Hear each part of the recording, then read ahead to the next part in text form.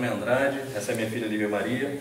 Queremos agradecer a todos os amigos da Igreja São José e da Creche Santo Antônio, ao Padre Cássio, pela colaboração e a ajuda que, que dão a todas as nossas crianças.